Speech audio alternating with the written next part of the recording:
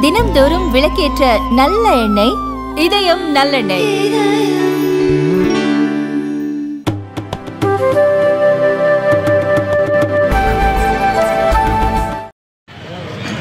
நம்ம ஊருக்கு என்று ஒரு வணிகக்காரர்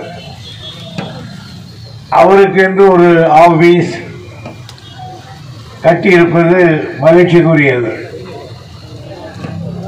ஒரு காலத்தில் நாங்கெல்லாம் இளைஞராக இருந்த காலத்தில் நம்மூர் வணிகக்காரர் கிடையாது. அப்பொழுது இந்த பாதி கிராமங்கள் முருக்கம்பட்டு வரையில் இருந்த கிராமத்துக்கு காவலூரில் இருந்துதான் ஒரு மணியக்காரர் வருவார். நம்ம ஊருக்கு மட்டும் தனியாக ஒரு மணிகார் மட்டும் இருந்தார்கள் ஆனால் நம்ம ஊரை சுற்றி இருக்கிற நிலத்துக்கெல்லாம் பெரும்பகுதி அது முருக்கம்பட்டு சர்வேயில் தான் வரும். எனவே நம்முடைய ஆட்கள் பெரும்பகுதியானவர்கள் காவலூர் மணிகாரை நாடிதான் போவார்கள். அப்படிப்பட்ட ஒரு காலம் இருந்தது.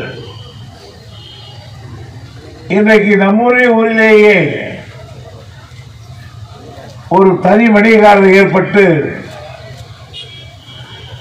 அவர் இங்கேயே தங்கி இருந்து வேலை பார்ப்பதற்காக அரசாங்கம் ஒரு வீடு கட்டி கொடுத்திருக்கிறது. இப்போது நம்மூர் வணிகராக இருப்பவர் யார் என்று கேட்டேன். அவர் கள்ளப்பாடியை சேர்ந்தவர் என்று சொன்னார்கள். எனவே நான் அவருக்கு தெரிவிக்கிறேன்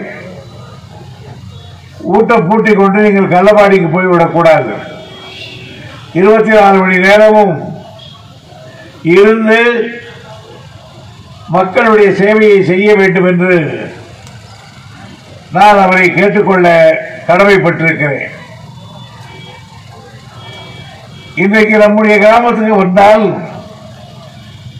ஒரு டவுனுக்கு வருவதைப் போல ஒரு உணர்வு இருக்கிறது. நூற்றுக்கணக்கான கார்கள் ஆயிரக்கணக்கான மக்கள் தேர் திருவிழா என்று ஒரு பெரிய பரபரப்போடு இருக்கிறது. நம் ஊரிலே ரெண்டு நாட்கள் தான் பரபரப்பு இருக்கும். ஒன்று நல்ல சப்திக்கு மாடு வைக்கிற பொழுது மாடு விடுகிற பொழுது கங்கையம்மன் திருவிழா. அதை தவிர வேறு நமக்கு விழாக்கள் கிடையாது. ஆனால் இப்போது சாமியார் மலைக்கு வந்த பிறகு இந்த ஊர் அமெரிக்கா வரையிலே யூடியூபிலே பிரபலமாக இருக்கிறார் எனக்கு தெரிந்த நண்பர்கள் அமெரிக்காவில் இருந்து போன் செய்து நம்முடைய ஊரை பற்றி விசாரிக்கிறார்கள். ஆகவே இந்த பிரபல்யமானதற்கு அவருக்கு நாம் நன்றி செலுத்த வேண்டும். நம்ம ஊருக்கு எத்தனையோ சாமியார்கள் வந்திருக்கிறார்கள்.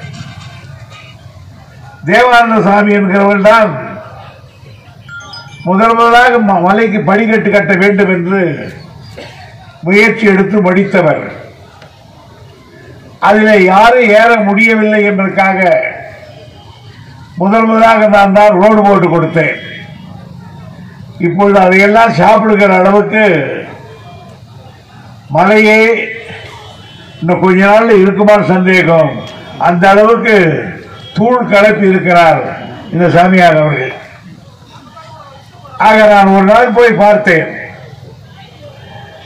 எனக்கு தெரியாத இடமே இந்த மலையில் இல்லை. என் இளம்பராயத்தில் அப்படி சுற்றி இருக்கிறேன். ஆனால் இன்றைக்கு மலைக்கேனுடைய காமாட்சி அம்மன் கோயிலை எட்டி பார்த்தால் கிடுகிடு பழம் தெரியும். ஆனால் இன்றைக்கு ரோடு போடப்பட்டு இன்னைக்கு தேரோட்டம் நடைபெறுகிறது. எங்கள் அமைச்சரவையில் இருக்கிற திருச்சி நேரவர்கள் அவர்கள்தான் இன்றைக்கு அந்த தேர்வை செய்து கொடுத்திருக்கிறார்கள்.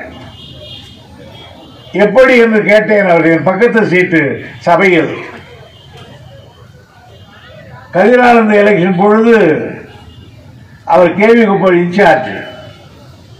யூஸ்வலாகவே கொஞ்சம் பக்தி உள்ளவர் மேல். அவர் இந்த மலைக்கு வந்த பொழுது சாமியார் நீ ஒரு தேர்வணி கொடுன்னு சொன்னாராம் அது செய்து கொடுத்தேன் என்று சொன்னார்கள் நேரு அவர்கள். ஆகவே இந்த பகுதியில் நம்முடைய பிரபல்யமானதுக்கு அவர் ஒரு காரணம்.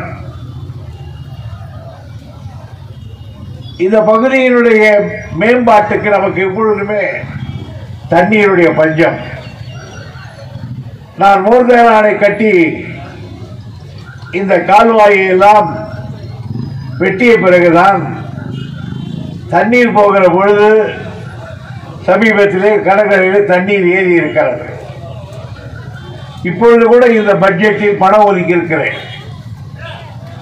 இந்த கால்வாயில் எல்லா இடங்களையும் செதுக்கி ரிப்பேர் ஆன இடங்களை எல்லாம் மறுபடியும் கட்டி அதனுடைய கரையிலே வண்டி போகிற அளவுக்கு செய்ய வேண்டும் என்று இந்த ஆண்டு கூட நான் நிதி இருக்கிறேன் ஆகவே இந்த கால்வாய் தான் நம்முடைய தண்ணீர் இல்லாத காலத்தில் நமக்கு கொஞ்சம் ஊற்றை கொடுக்கக்கூடிய அளவுக்கு இந்த மோர்தானா டேம் நமக்கு வழி செய்திருக்கிறது.